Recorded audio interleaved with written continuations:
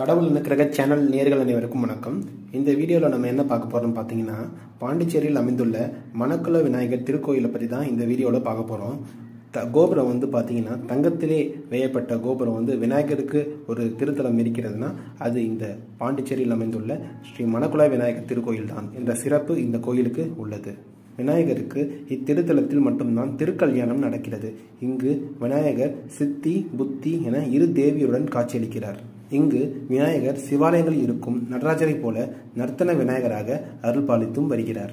விநாயகர் தலங்களில் வேறு எங்குமே காணாத அளவிற்கு இங்கு பள்ளியறை மிக சிறப்பாக வடிவமைக்கப்பட்டுள்ளது. இங்கு பள்ளி அறையில் விநாயகருடன் இருப்பது அவரது தாயார் பார்வதி தேவி ஆவார். தினமும் நெய்வேத்தியம் முடிந்தவுடன் விநாயகர் பள்ளி அறைக்கு கொண்டு செல்லப்படுவார். இதன் அடையாளமாக பாதம் மட்டுமே இருக்கும் உற்சவ மூர்த்தி கொண்டு செல்லப்படுகிறது. தற்போது மூலவரான மணக்குளத்து விநாயகர் இருக்கும் பீடத்திற்கு மிக அருகிலேயே ஒரு அரை அடி விட்டத்தில் ஒரு ஆழமான குழி செல்கிறது. அதில் தீர்த்தம் உள்ளது. இதில் வற்றாத நீர் எப்போதும் இருக்கிறது. இது இத்திருக்கோயிலின் புனித தீர்த்தமாகவும் கருதப்படுகிறது.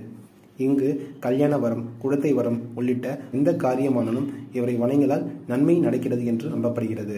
இதில் குறிப்பிட்ட அம்சம் எதுவெனில் இங்கு இந்து மதம் மட்டுமல்லாமல் வேற்று மதத்தை சார்ந்தோரும் வெளிநாட்டவரும் அதிக அளவில் வந்து வழிபாடு செய்கின்றனர். முக்கியமாக இத்திருத்தலத்தில் பக்தர்கள் தங்கள் நேர்த்தி கடனாக சித்தி புத்தி விநாயகருக்கு திருக்கல்யாண உற்சவம் நடத்தி வைக்கிறார்கள்.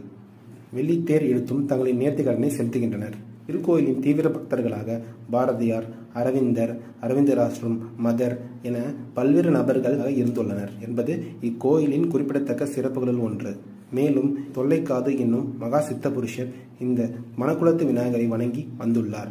இவரின் ஜீவ சமாதியும் இங்கு அமைந்துள்ளது. இந்த வீடியோவில் நம்ம மணக்குள விநாயகர் கோயில் தல பெருமையை பற்றி பார்த்தோம். அதுக்கப்புறம் இன்னும் நம்ம சேனலை யாரும் சப்ஸ்கிரைப் பண்ணாமல் இருந்தால் மறக்காமல் சப்ஸ்கிரைப் செய்து கொள்ளுங்கள்.